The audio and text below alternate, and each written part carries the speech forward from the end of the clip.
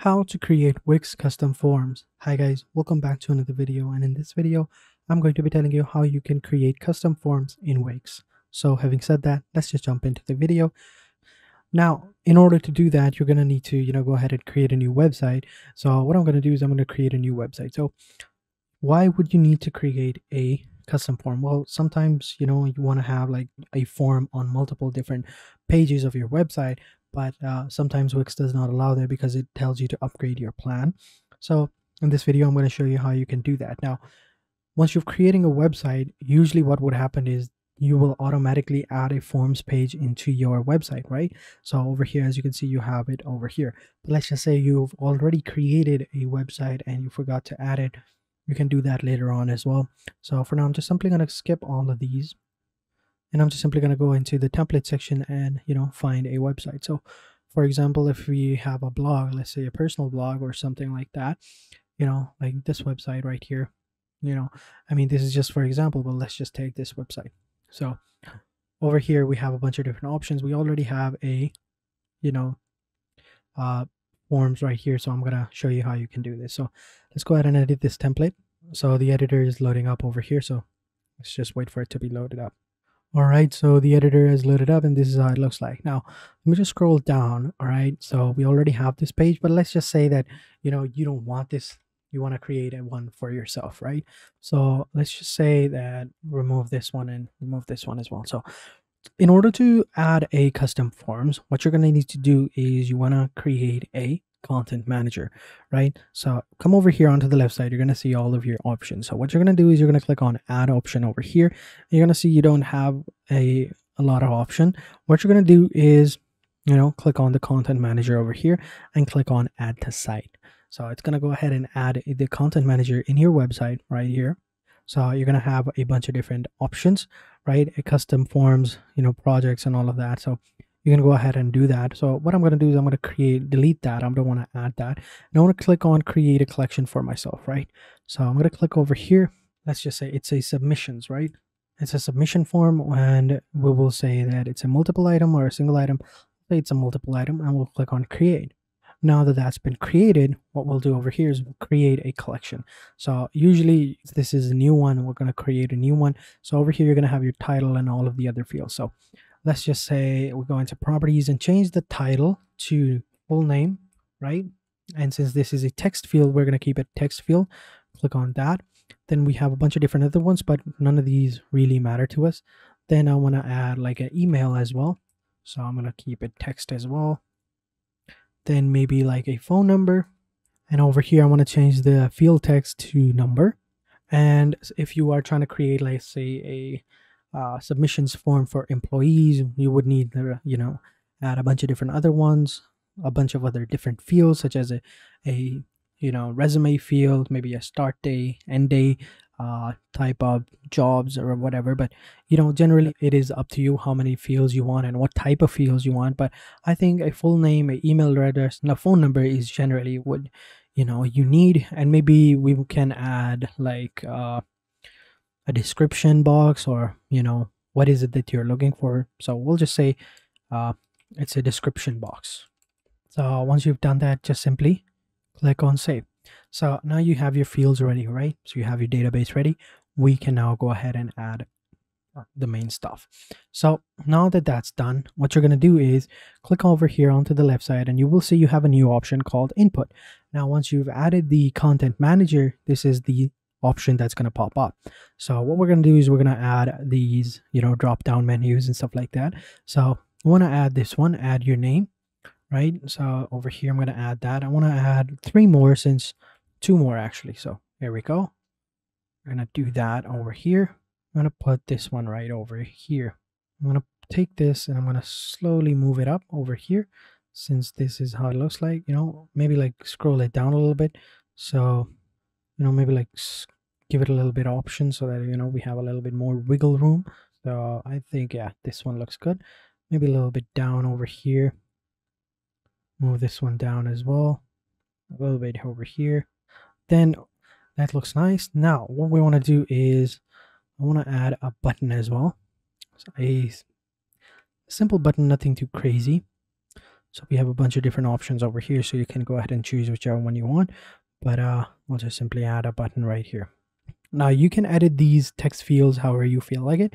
As I said before, it all depends on you. So I'm going to add the button right here. Yeah, I think that looks good. Now I'm going to add like a text over here, like a small little heading, something like this. Going to add that over here. And I'm going to say leave a comment or let me know what you think or stuff like that. Or maybe like, um, like, you know, a request form. I'll just say submit to request. And then I'll just realign them for the center one. Yeah, I think that looks good. Next, what you want to do is, next what you want to do is you're going to go ahead and add your database, right? So to add the database, again, click on the add button and you will see underneath content manager, you will see all of your form. So what we want is we want a data set, right? We're going to click over here and we're going to add the data set. We have this data set right here. Now, don't worry. Uh, this little icon will not be, you know, shown on your main website. This can only be viewed by you. No other person can actually see this icon. So we'll click on settings and, you know, select our database or collection that we just created. So this is the one that we created. We're going to choose the submissions and in over here, since this is a, you know, submission box, we're going to keep it at read only. And yeah, now that that's connected, our database is connected. Now we want to link one by one each of these to the database. So since this is your first name, so in this field, I'm going to change it to, you know, full name over here, over here. And then over here, we're going to change this one to email as well. Actually, I forgot to add another one that which was the comment box. So I'm going to add that as well. And this is going to be the number. I mean, usually the people don't require a number for a request, but you know, it is what it is. Again, I'm to add a input and over here, I want to add this giant text box right underneath here. I'm to move this up a little bit over here. Move this up here. Move this up here. There we go.